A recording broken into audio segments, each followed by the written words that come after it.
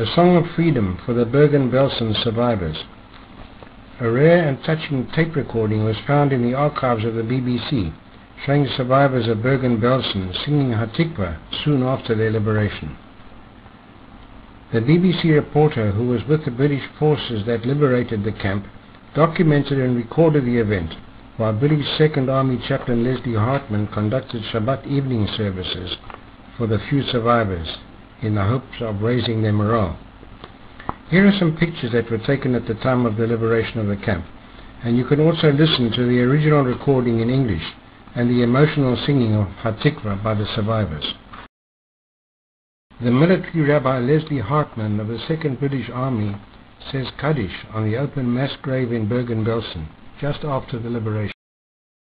Seven years ago today, a remarkable recording was made in the German concentration camp of Bergen-Belsen.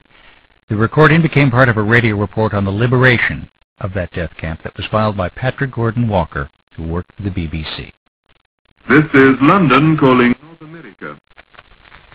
The day I reached Belsen concentration camp, the fifth day of liberation, was a Friday, the day before the Jewish Sabbath. Something like half the surviving prisoners at Belsen were Jews, and the Jewish chaplain to the British Second Army, the Reverend L.H. Hardman, held an eve of the Sabbath service in the open air in the midst of the camp.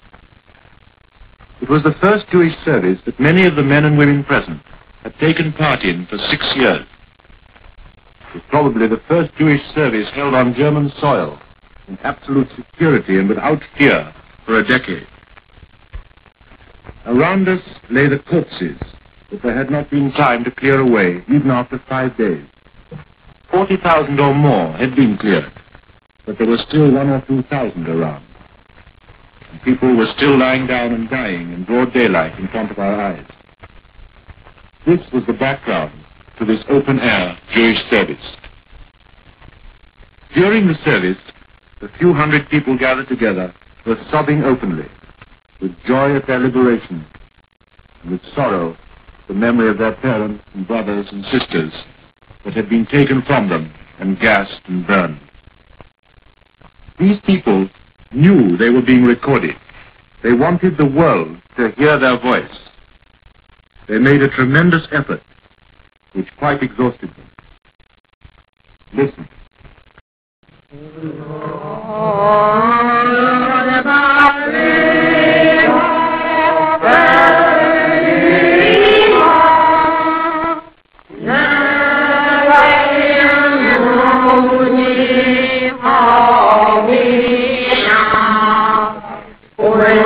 Bate!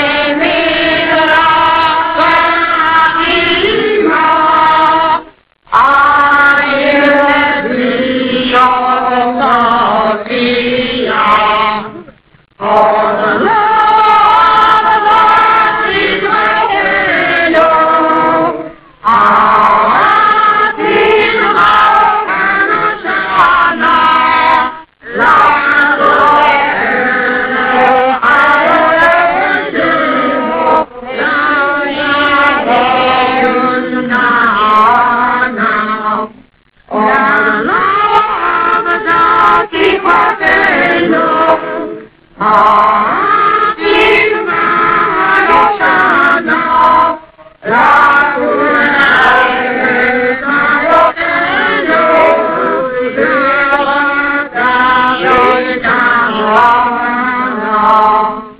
Yisrael Chai, the children of Israel still liveth.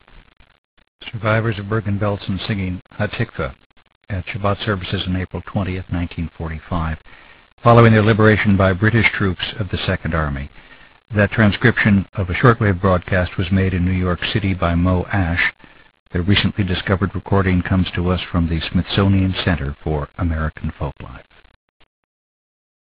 The prisoners in the video and the pictures represent a very small part of the atrocity of the Holocaust, but they are a living response to present and future Holocaust deniers.